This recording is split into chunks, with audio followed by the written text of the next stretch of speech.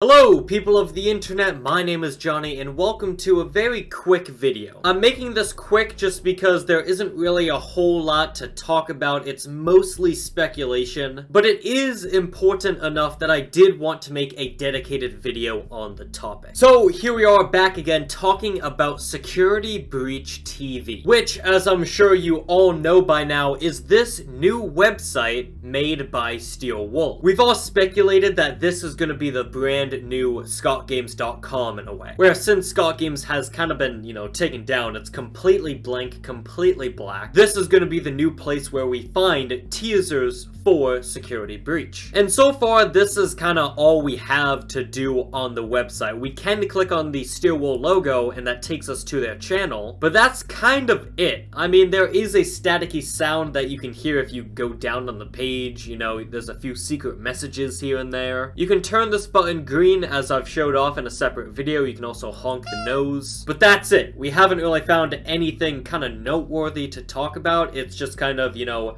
this is the new website, and now we wait. However, an interesting discovery has been made, and we might not have to wait too much longer for this new website to be active. Because people have found in the source code for the website a timer, a countdown, that is going to appear on this monitor at some point in the future with some, you know, time that it's going to count down to. Now, we don't know when the timer is going to appear on the website. We don't know how long the timer is going to be, right? We don't know what the timer is for. We don't know how long the countdown is going to take. All we know is that we are going to get a timer on this monitor at some point in the future. Hello, it's Editing JonnyBlox. It's been a hot second since I've been in a video. I realized I probably should have brought this up, which is an image you may have seen a couple of times from people talking about this countdown. And let me make this clear, these promos have nothing to do with FNAF. This image and these numbers, these countdown, these timers, are promotional images for the plugin used on the website. These have nothing to do with Security Breach, they have nothing to do with FNAF. These are simply just promo images used for the plugin that is used for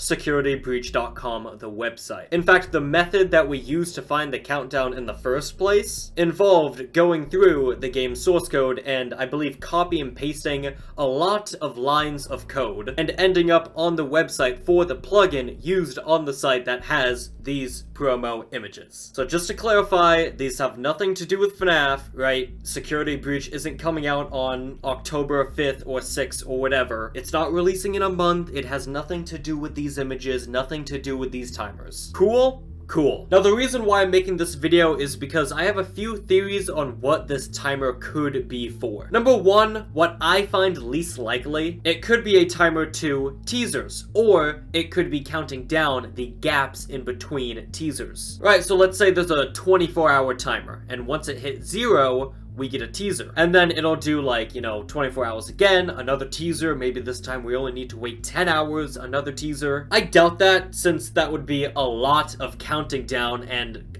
quite honestly, a lot of teasers, that if we are getting close to the release date for the game, do we even need teasers? Theory number two, it could be counting down to a brand new trailer. I think the weirdest thing about the site isn't the secret messages, it's the link to the Steel Wool YouTube channel, which as you can see hasn't been active in half a year. So I think the link to the website could hint to a brand new premiere for a trailer, kind of like what FNAF Plus did with breaking and entering. Or it could just be a countdown and then boom, there's the trailer. Or option number three, and what I find to be the most likely outcome, the countdown to not just a trailer, but to one of the biggest events of the year. At least for PlayStation. Now listen, I don't want to raise hopes, right? I don't want to set expectations because who knows, maybe it's not going to be in this event. But boys, come on, like, things are lining up so perfectly. We, we're getting something soon. And with a new PlayStation Showcase just around the corner, I feel like this is a great time to finally show another trailer. So could we see a live countdown to the PlayStation Showcase, which is going to show off games releasing this holiday and beyond, which has developers large and small, whether or not you consider Steel Wool AAA or indie. I just feel like things are aligning too perfectly, you know? So, again, I don't mean to set expectations, you know, I'm not trying to hype up false hype, because at the end of the day, we don't have any 100% solid evidence that Security Breach is going to be in the event. It's just kind of perfect timing that all of this is happening and then we get a PlayStation showcase. So until Steel Wool say something, I don't know if it's going to be in the event. I would love for it to be in the event. I do think it might be in the event. Because at the end of the day, it's one or two things. Either they are very smart at planning things finally, Steel Wool has some damn marketing for this game, or number two,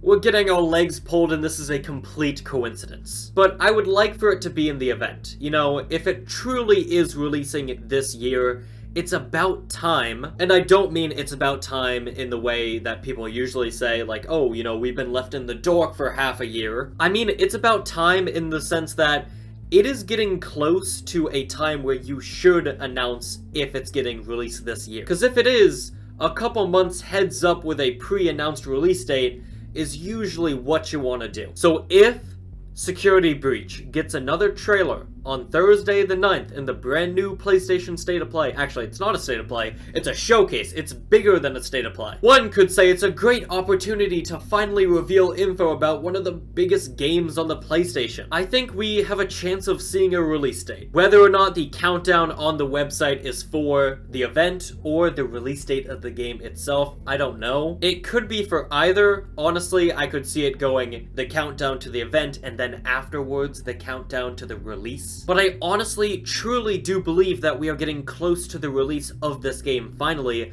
after more than two years of waiting. And even though right now, right, we have nothing to look at on the screen, and so far we haven't gotten any teasers nor trailers so far, hopefully, dude, it just feels so good to finally have the hype back. Now, I don't know about you guys, again, we haven't really gotten anything too big besides the launch of the new website, so I can see why some people still aren't hyped for the game, but personally, I'm just so happy that we're finally getting something. Because even if it's not in the PlayStation Showcase, the launch of this website and the discovery of the countdown does prove that we have something big coming soon. Whether it's a teaser, a trailer, a delay, which would suck, or a release date, there's something big coming soon. So tell me, what do you think in the comments down below? What do you think the countdown is for? Do you think PlayStation will feature Security Breach? Do you think it's gonna get delayed? Do you think we still have a chance of seeing it this year? I personally do think we're still gonna see it this year. Tell me what you think. Are you even excited for the game still? Thanks for watching. I'll have more updates soon whenever we get new info on the game. Oh, and I'll also be reacting to the PlayStation Showcase on my Twitch channel, which is always linked down below. So thank you guys for watching, and I'll see you all on the flip side.